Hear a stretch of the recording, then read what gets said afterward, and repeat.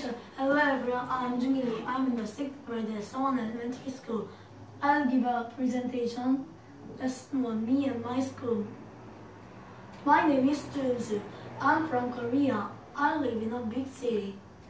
I walk to school. It is not far from my house. I wear a school uniform. I like it. Hello, I'm Blair. I'm from Canada.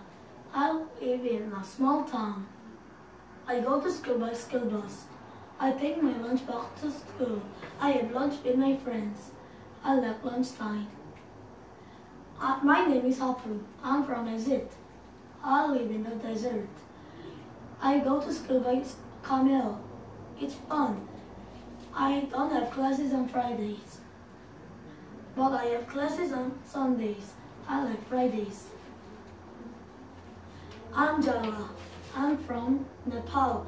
I live on the mountain. I don't go school.